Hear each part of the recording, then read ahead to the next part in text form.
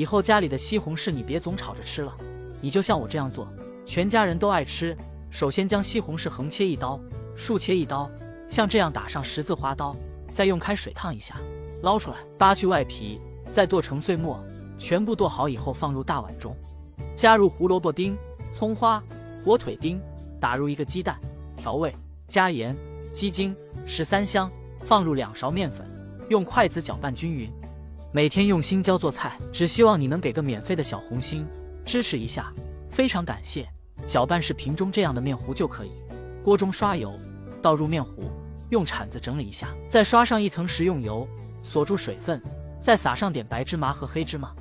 这样吃起来会更香。盖上盖子烙五分钟左右，出锅看成品，看看有没有食欲，切成小块。西红柿早餐饼，你就像我这样做，简单好吃，营养丰富，